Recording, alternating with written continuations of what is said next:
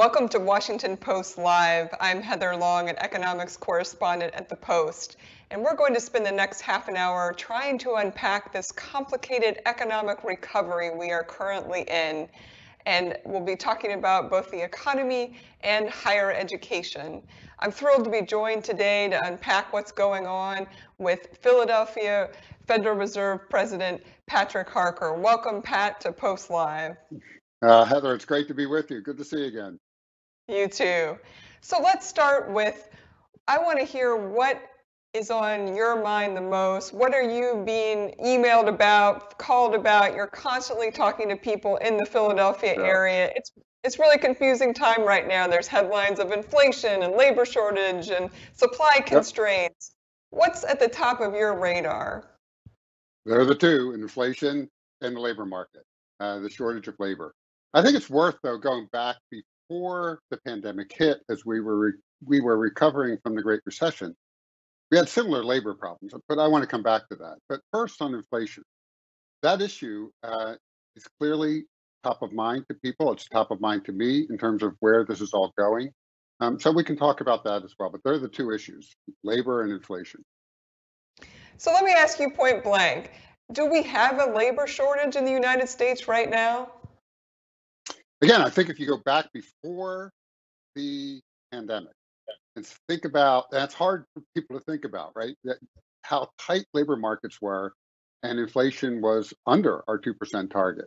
So in that world, we had a labor shortage, particularly for skilled labor, particularly in areas like manufacturing, but also in construction and you name it. So those didn't go away because of the pandemic. If anything, they're exacerbated by the pandemic. So yes, we do have a labor shortage, and there are a couple of likely suspects for why that happened. Right, one is uh, people have uh, they're reluctant to go back to work because of the pandemic. Also, particularly women, and we've seen women drop out of the labor force in larger numbers than men, uh, particularly for lower income jobs. The access to childcare, or the fact that their children aren't in school full time.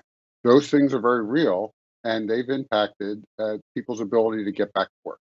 And there is the question of how much the unemployment insurance has first helped people that really needed it, and in some cases, maybe delayed their return to the workplace. In my mind, those are all, they're important factors. Those factors, though, are temporary. That is, they will resolve themselves over the next couple of months. You think about schools reopening, childcare reopening, uh, unemployment benefits are going to run off. Uh, the you know extraordinary uh, support we've given to the American public, that's going to run off, and so those will start to correct themselves over time. Yeah. You did bring up the unemployment benefit. Obviously, that's become a big debate right now. That extra $300 people are getting from the federal government on top of about 300 on average most people would get mm-hmm. if there weren't the pandemic bump. Uh, do you think that extra money is preventing some people from wanting to go back to work? Do you think maybe it's time to end that early? So I think this really varies a lot by location and by industry. I mean, I think this is not a one size fits all at all. I mean, I think the, the issue here, it may be affecting some people, but it's not the only thing affecting people. Again, people know that the longer they're out of the workforce, the harder it is to get back into the workforce. So people intuitively know that that they need to get back into the game. But there are these things holding them back: childcare, elder care, a whole host of other issues. And one of the issues in an urban environment like Philadelphia is transit. People are not only concerned about the workplace environment they're going to return to, but also getting to and from that environment on mass transit. All those, as we get the vaccine more and more into people's arms, which we really need to do, these will resolve themselves. I mean, but we have to be attentive to it. But they're going to run off. I mean, the, the unemployment benefits will run off here over the next couple of months. So I'm less worried about that right now and more worried about doing everything we can to give people the sense that it is safe to return to work. Got it. Um, I want to ask you, obviously you're a Fed official and these debates are going on. Um, you know, a lot of people were a little surprised when the minutes came out from the April meeting you all were at And there's this line in there about if the economy continues its rapid pace of, of progress, that I think the wording was it might be appropriate at an upcoming meeting to discuss lowering the bond purchases you all have been doing. Yeah. So something that Wall Street calls tapering.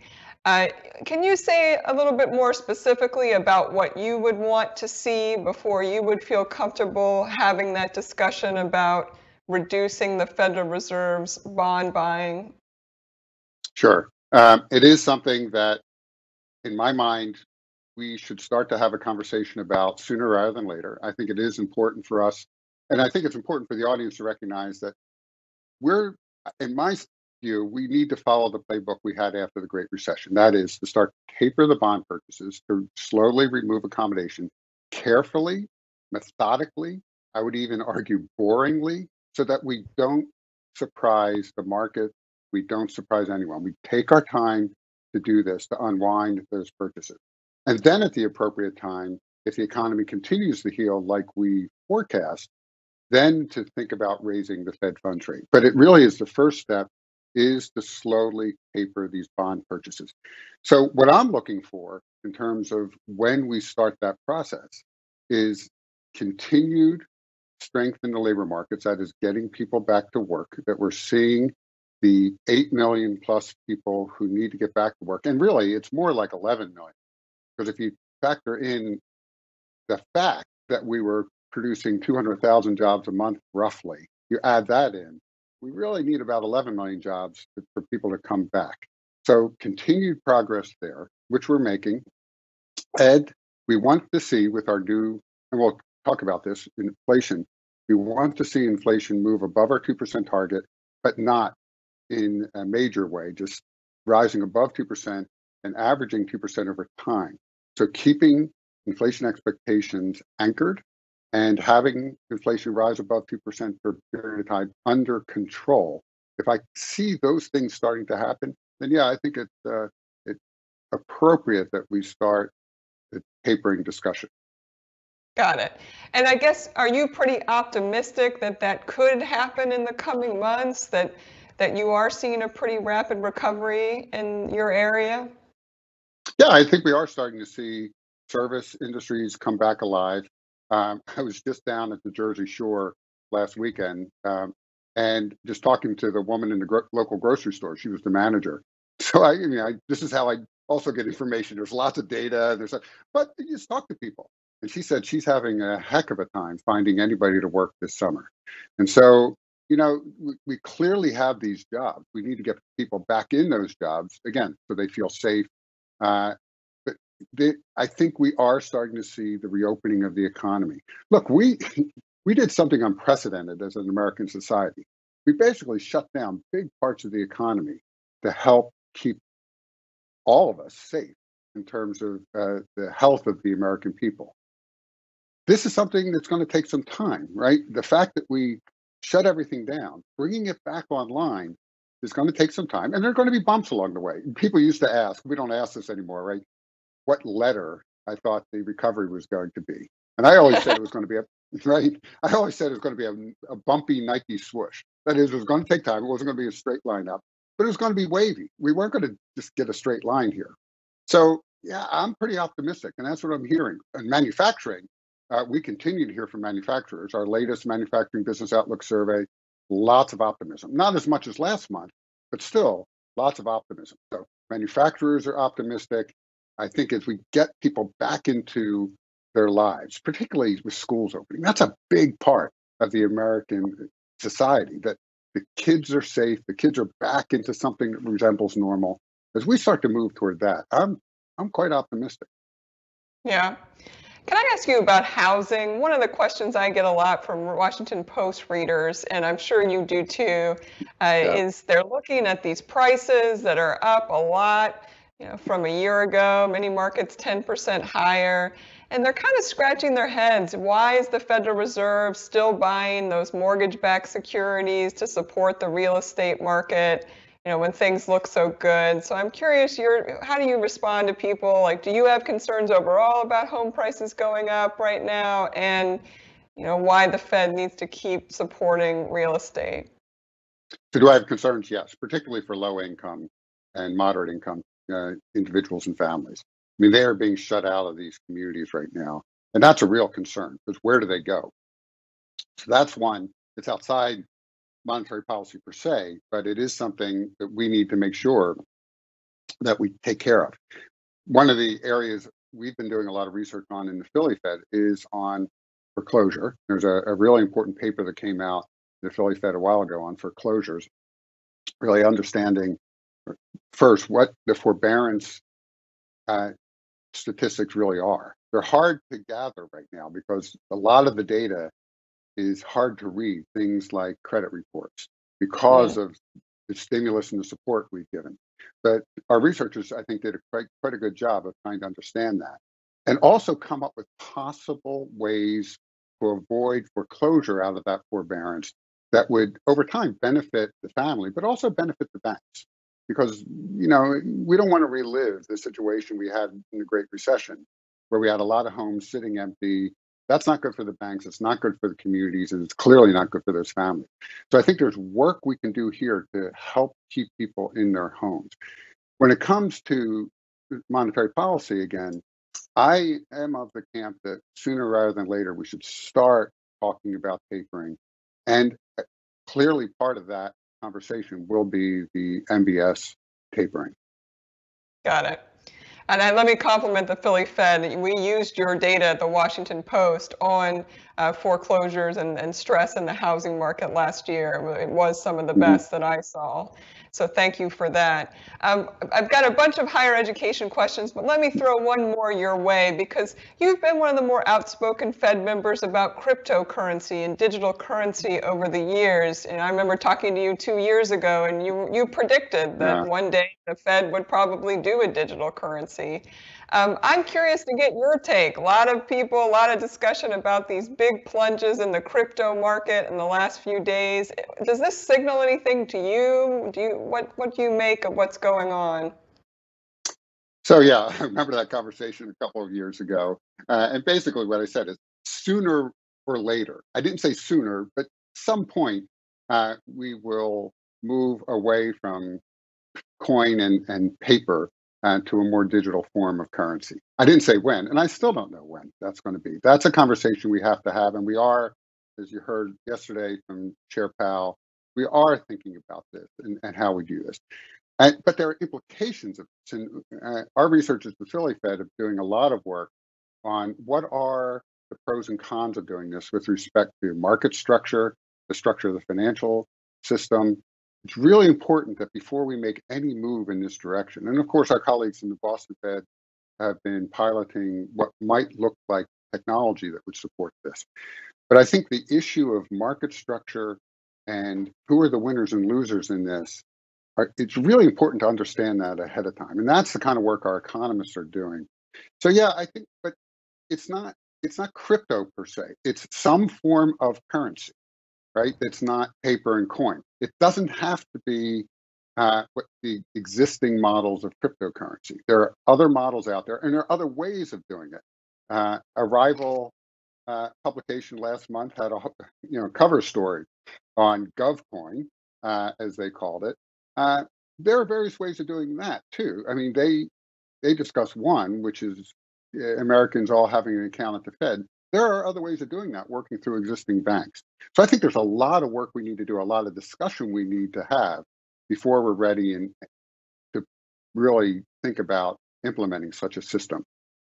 Got it from the Fed. And can I just follow up and ask eh, when you see these big declines in the crypto market that get a lot of headlines in, in the recent days? I mean, I know you all try not to comment on asset prices generally, but does it mean anything to you? Do you think it's big enough that this is some sort of signal about sentiment or inflation or how people are feeling?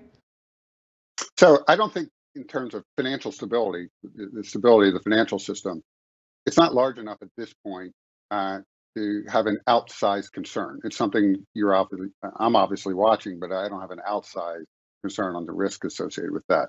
Um, it's a very volatile uh, I wouldn't call it even a currency, commodity.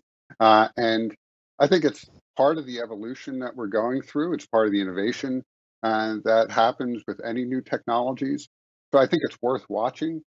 And it's actually really important that we watch this and try to learn from what's going on in the market. But I don't have an outside concern with, with respect to the overall risk to the economy. Got it. So most of us know you today in your role as an economic policymaker, but obviously most of your background was in higher education. You were president yep. of the University of Delaware and dean at the Wharton School and many other positions along the way in higher ed. So you you all just had a big conference at the Philly Fed, and you called it this the peril that higher education is going through. Yeah. So I'm wondering, just big picture, are we on the verge? Of a mass of wave of closures of higher education institutions. Are you really worried about that? So let me put a little context uh, for the people who are listening in. So there are roughly 4,000 institutions of higher education in America with roughly 4 million employees and 20 million students. So it is a substantial industry, if you think of it as an industry, in addition to what it does in terms of training the next generation of not only workers, but citizens in this country. And we know this is really important. Uh, these degrees matter. And somebody who gets a bachelor's degree, either Bachelor of Arts or Bachelor of Science, on average will make almost $3 million a year over the course of their lifetime, more than somebody who didn't.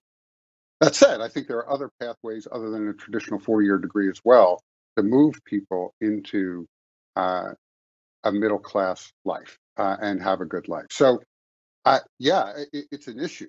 And what's happening now is the pandemic accelerated trends we were already seeing in higher education. First, the traditional college age population, right, the 18 year olds, uh, that's in decline. And that's been in decline for quite a while in this country. And with the pandemic hitting and the birth rates uh, that we're seeing, the low birth rate, that there'll be again bumps that'll go up and down but the long-term trend is not very good with respect to that traditional age cohort. That combined with additional costs that higher education institutions incurred has really put them in a tough spot.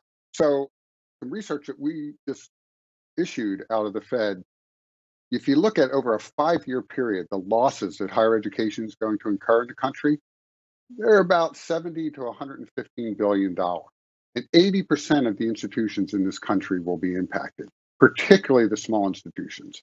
So I do think we're already starting to see more merger activity. Uh, one of my old colleagues, a university president, said to me he's getting these calls on a fairly frequent basis of smaller institutions coming to him and saying, Would you be interested in a deal, either a merger or acquiring us? So yeah, this is already starting to happen. It was happening before the pandemic, and this is just accelerated. Wow, that is the line I circled when I read your speech and the research was that 80% of all institutions are likely to face a revenue shortfall, higher education institution. I mean, that's just an astounding mm-hmm. number.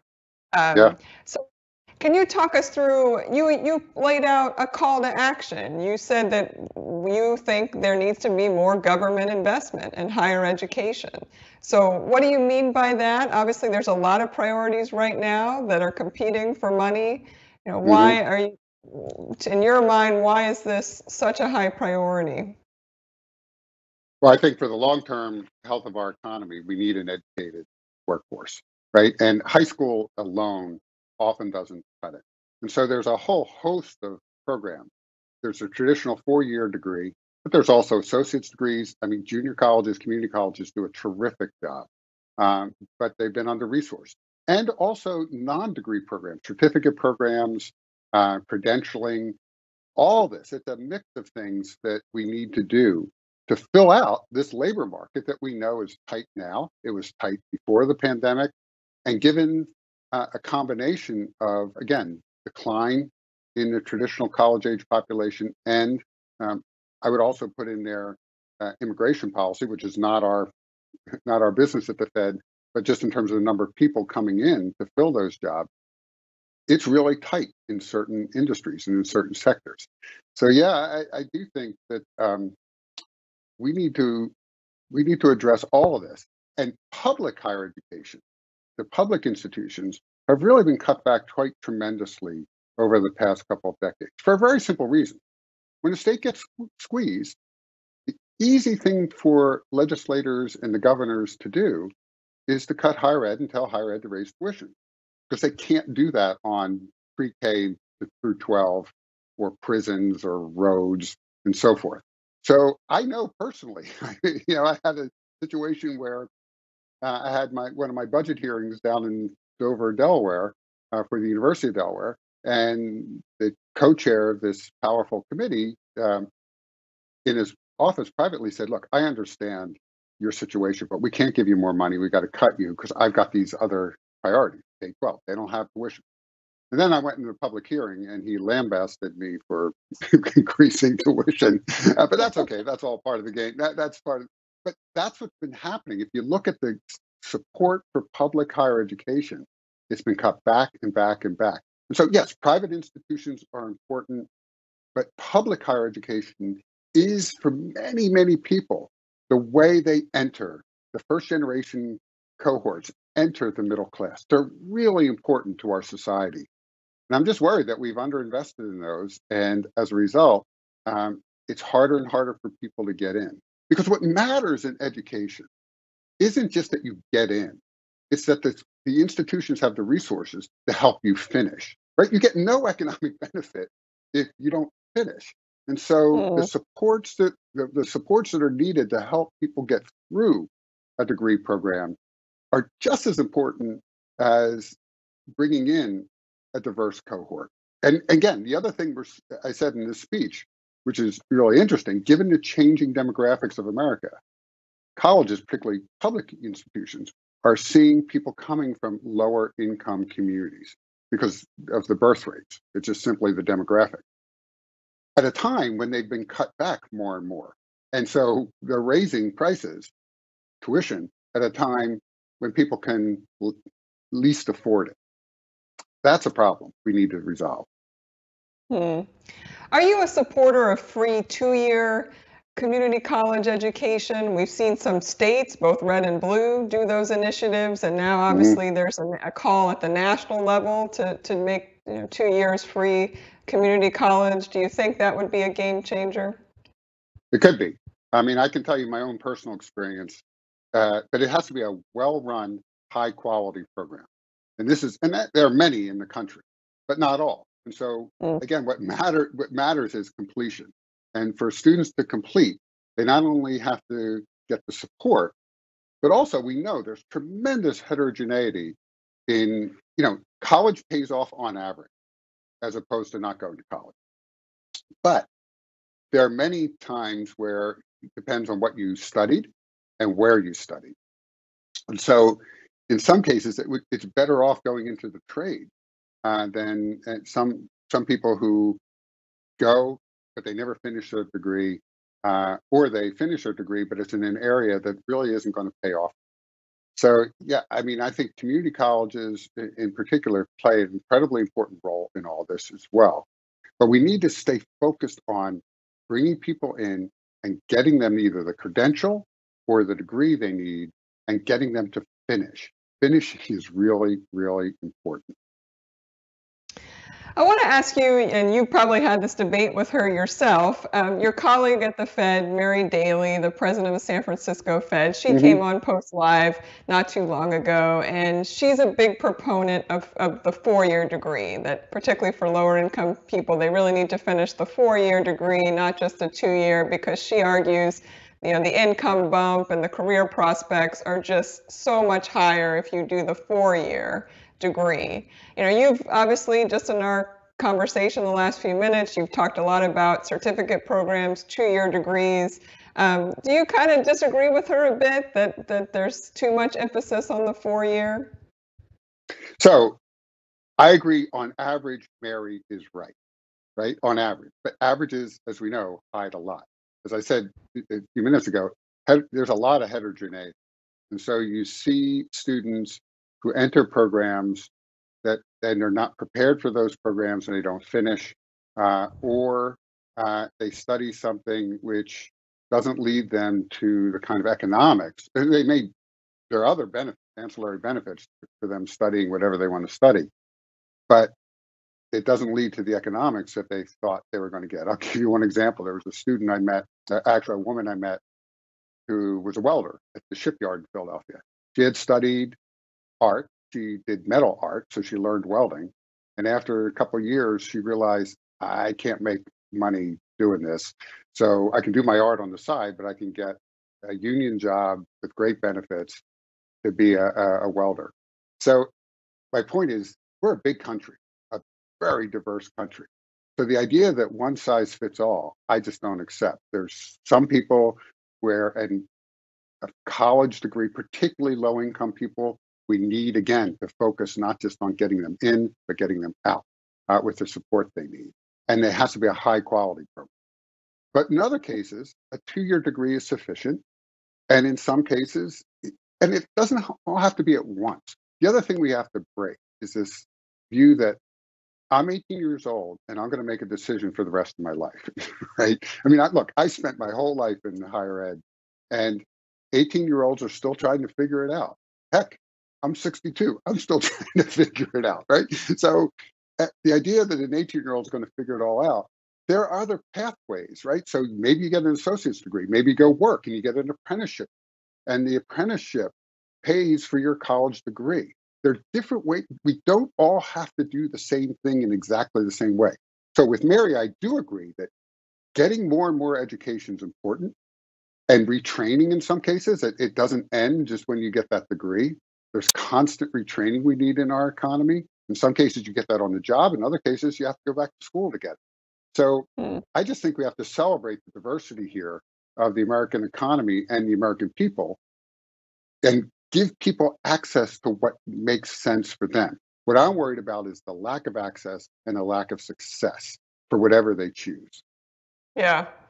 Um, we've got time for one more question, so I want to throw this one your way. Are you worried about a lost generation of college students because of the pandemic? You know, Philadelphia Fed, in your research, you all cited enrollment numbers down 13% uh, over for first years overall in yeah. this academic year, and it's even worse at community colleges, close to 20% down in some cases. I mean, these are jaw-dropping mm-hmm. numbers that really signal a lot of low income students did not enroll this year. Do you think, are you optimistic that they'll come back, or do you think we might have a lost generation here? Yeah, so it's not only in higher ed. I mean, you can go all the way through the educational system. I mean, students who have been doing online classes the whole year, particularly low income students who've really struggled because of access to technology and just all the all the situations they face so we have a problem up and down in terms of uh, getting students a high quality education. So yeah, I am worried about this. This is one where I, one issue I think we as a society really need to focus on. And if that means we need to extend somebody's education for a year and their opportunities for education for a year, I think we should do it because not only will they benefit, but when they benefit, the entire economy. So yeah, I am supportive of that because I I I do worry that uh, people had to make choices in the pandemic. They had to drop out of school or never went into school because of financial situations that their families were in. We need to resolve it. I mean, and there are ways of resolving, but we need to collectively come together and say we need to get these young people and not just young people, not so young people, retrained into the new jobs that this economy is producing. Yes, and access to technology was another big one. Some people just yeah, couldn't absolutely. do the online classes. Um, yeah. Are you all back in person at the Fed? Are you are you going into the office every day? Can you give us an update there? No, I'm sitting here in southern New Jersey, right across from the Fed. So no, we are we'll be easing back in uh, as Philadelphia starts to relax some of its constraints, but we want to abide by the local conditions. All right, and the hardest question I'll end on: Are you Sheetz or Wawa? Well, there's actually no Sheetz right here. Although I like I, I, Joe Sheetz, the head of the company, and the head of Wawa are both uh, good friends of mine, and I like both of them. But I also there's another there's another competitor that's entered our market with really good fried chicken. I knew well down in Delaware. I won't name them, but they've got really good fried chicken, so I go there quite often. All right, you might really get beat up for that one. Anyway, as a fellow Pennsylvanian, I can make these jokes. Thank you so much for joining us, Pat Harker. Always insightful. Thanks, Heather.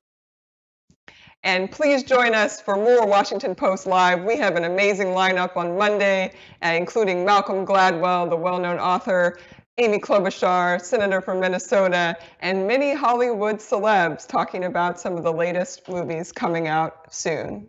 Thank you.